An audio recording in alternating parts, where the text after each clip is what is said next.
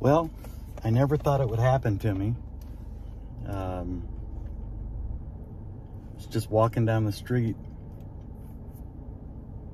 And I know this has happened to literally everybody at some point, maybe daily. But I was just walking down the street minding my business. And out of nowhere, success attacked me, rolled me,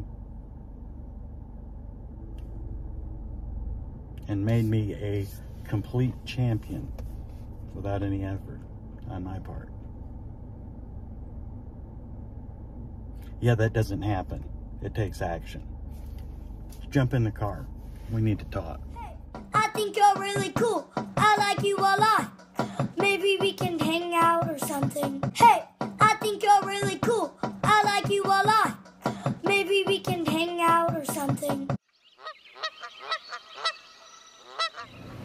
So, needless to say, my little run-in with with success um, left a scar.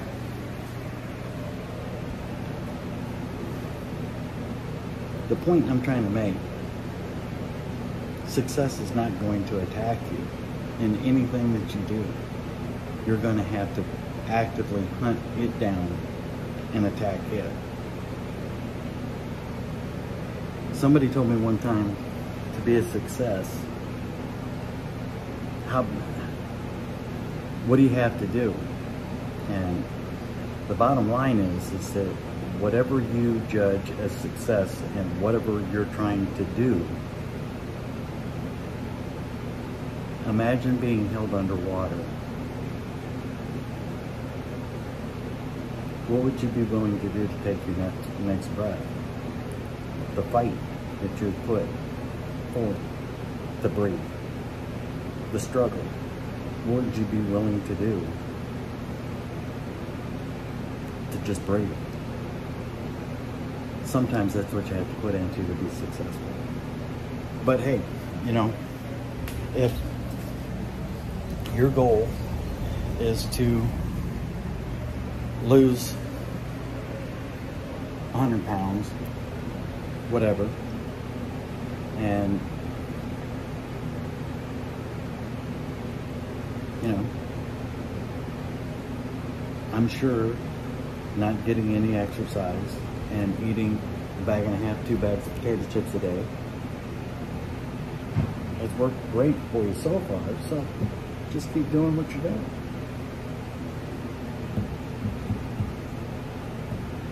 If you want big, big shoulders, big chest, big arms, when you go to the gym, stay on the elliptical, do legs, because that'll get your chest and arms big, right? The point I'm cynically, sarcastically making is, is that whatever it is that you want to be a success at, and it doesn't matter what it is, you have to actively pursue it.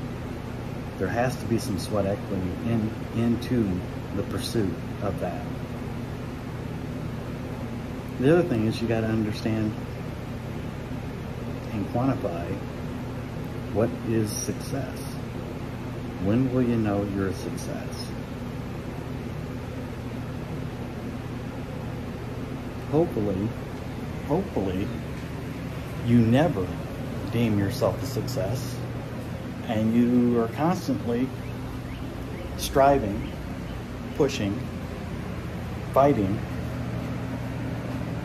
to do just that much better. Who knows? Personal example. I've wanted to have a ham radio license for, I had one for years and let it expire. And I've got all three books.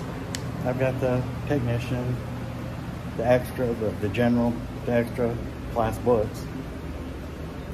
And I keep hoping when I'm asleep they'll jump off the bookshelf and attack me with their knowledge.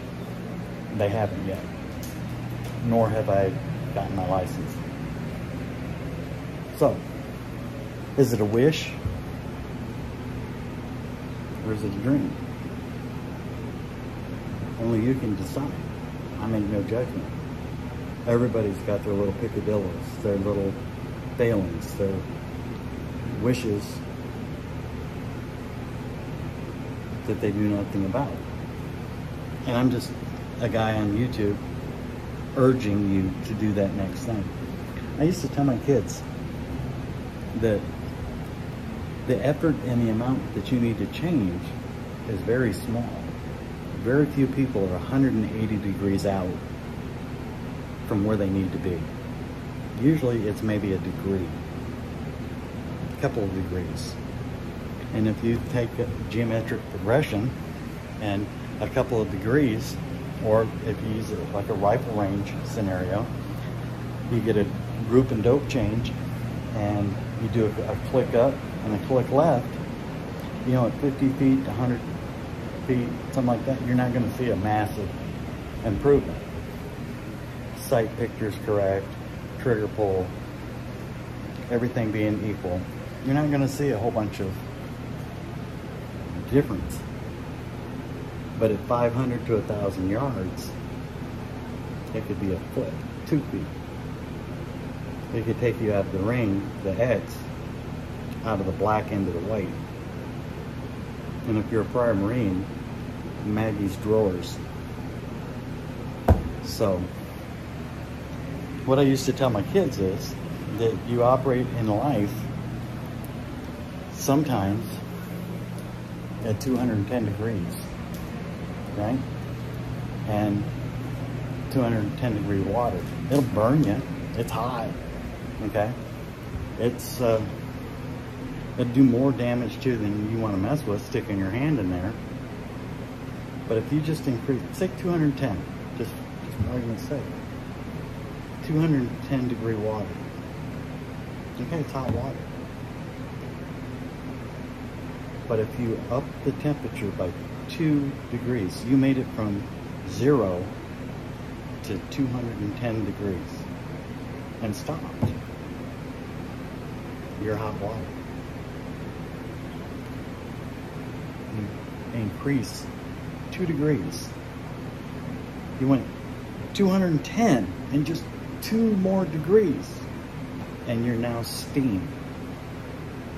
And steam has moved trains across the United States to the continent, ships across the ocean,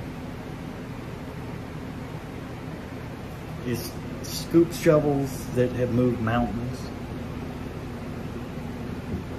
Two degrees. So, I guess my point is, are you wanting to be hot water? Or you want to go 2% more and become steam?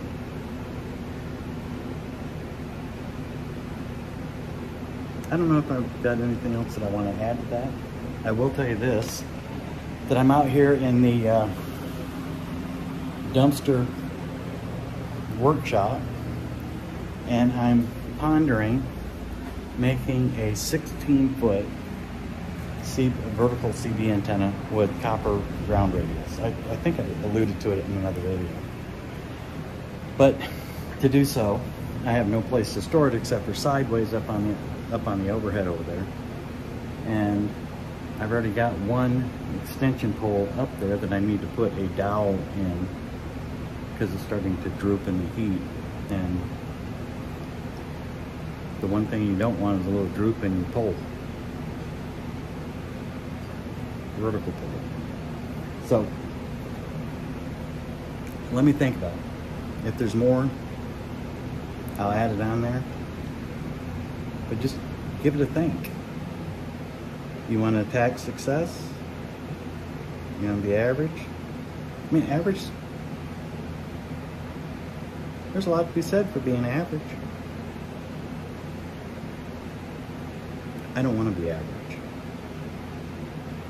I don't want to be run of the mill. It kind of sucks when you don't want to be something. I might add on to that.